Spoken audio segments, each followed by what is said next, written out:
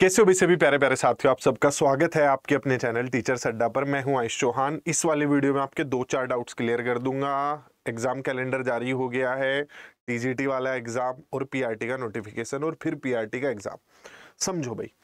अगर आप लोग देखें तो यहाँ पर आपको जो अभी एग्ज़ाम कैलेंडर जारी हुआ है, दस जून से एग्ज़ाम हो रहे हैं, चार जून को आपका इलेक्शन का रिज़ल्ट आ रहा था तो एग्ज़ाम्स जो शुरू हो रहे हैं, वो दस जून को हो रहे हैं। डी ट्रिपल एस बी का अपना नियम है, दिल्ली का भर्ती बोर्ड है सर्विस सबॉर्डिनेट बोर्ड है, दिल्ली में जितनी भी हायरिंग होती है, लेकर क्लर्क से, और ऊपर आपकी आईएएस लेवल से नीचे की जितनी जॉब्स है, वो सारी D triple S B board कराता है। तो इनके नोटिफिकेशन आते रहते आते रहते फिर अपने हर महीने एग्ज़ाम्स कराते रहते हैं, उस महीने जितने एग्ज़ाम होने उसका नोटिफिकेशन कि कौन कौन सा एग्ज़ाम किस किस डेट में होगा, उससे पहले महीने में जारी कर दिया जाता है। तो जून महीने का एग्ज़ाम कैलेंडर जारी हो चुका है तो इसमें कोई टीचिंग एग्ज़ाम्स तो आपको देखने को नहीं मिल रहे हैं।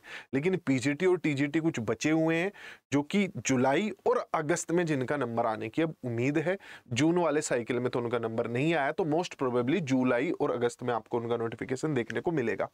ऐसा क्यों होता है कि इनके टीचिंग पोस्ट के नोटिफिकेशन भी लेट आते हैं और इनके जो है एग्ज़ाम्स भी लेट होते हैं, उसका रीजन ये है, इनके पास सौ काम आते हैं करने के लिए। ये सबसे मुश्किल काम है। और जब पूछा जाता है, इनमें से कितने हो गए तो ये पहले वो निपटा देते हैं जो बहुत आसान काम है।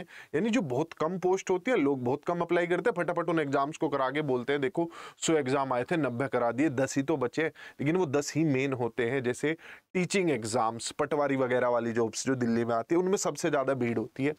अब टीजीटी का आपका जुलाई अगस्त में आप मान के चलिए।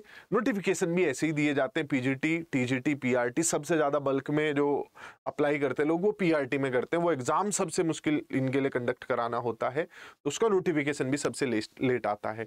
तो जुलाई अगस्त में टीजीटी पीजीटी होने के बाद आप लोगों का सितंबर अक्टूबर में जाके पीआरटी का एग्ज़ाम होगा, जिसका नोटिफिकेशन अभी नहीं आएगा।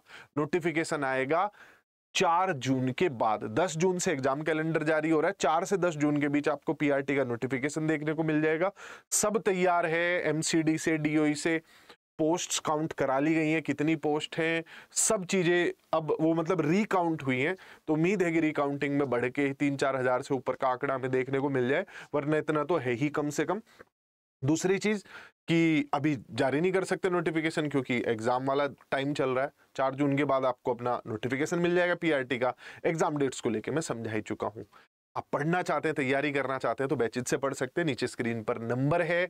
इसके अलावा आप नीचे गूगल फॉर्म भर सकते हैं। उसके थ्रू भी हम आपकी जितनी मदद होगी, वो कर पाएँगे। Bye bye take care